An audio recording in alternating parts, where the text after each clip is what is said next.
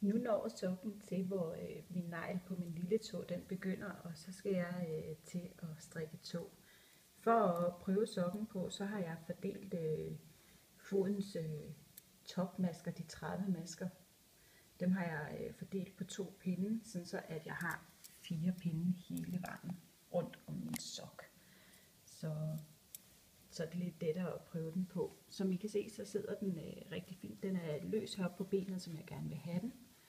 Og så bliver den øh, fast hernede på foden, fordi jeg har taget lidt ekstra masker ind. Når jeg gerne vil have den løs på mit ben, så er det fordi, jeg har øh, ret store øh, lægmuskler. Så jeg kan ikke lide, at det sidder for fast. Jeg kan godt lide, at det sidder og poser lidt. Det ser lidt pænere ud på, øh, på mit ben.